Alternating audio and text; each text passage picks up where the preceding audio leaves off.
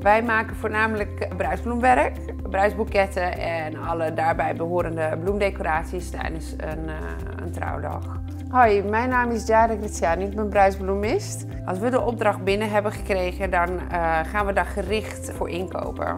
In voorhand zetten we ze op water op Professional 3 van Griso. En dat is om de houdbaarheid te bevorderen, zodat de bloem mooi openkomt. Is namelijk heel belangrijk dat de bloemen die wij verwerken, dus uh, voor één dag mooi zijn.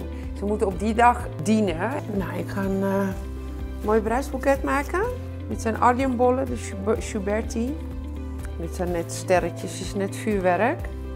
Ik ook zelf heel mooi vind, is om um, in dieptes te werken. Dat je dus echt het boeket heel spannend houdt. En aan alle kanten dus mooi is. Daar heeft Nederland nog een klein beetje moeite mee. Maar de trend is nu echt wat groter gaan.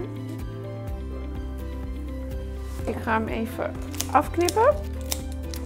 Soms vraag ik aan de bruidegom wat voor kleur pak heb je aan. Kleur stropdas. Houden we er rekening mee dat het één geheel wordt.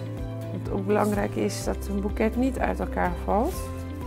Het water uit de steel wordt verdampt, voornamelijk uit het bloemblaadje. En wat ik uh, zelf een heel fijn product vind om die verdamping tegen te gaan, is dus de Grisal Professional Glory. En dus dat doen we altijd flink eroverheen. En dan ontstaat er een soort waasje over de bloem.